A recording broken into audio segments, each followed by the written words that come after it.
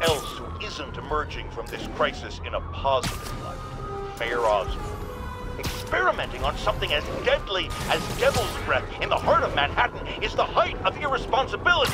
What did Osborn know and when did he know it? The answer could mean the difference between electoral defeat, impeachment, and